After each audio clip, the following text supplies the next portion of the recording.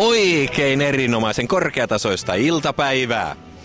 Ihmisen elämässä on kolme todella tärkeää asiaa. Ne ovat syöminen, juominen ja Hämeenpuistossa viihtyminen. Hämeenpuistossa viihtyminen on tänään erityisen mahdollista, koska täällä on meneillään Hämeenpuiston puistofiesta.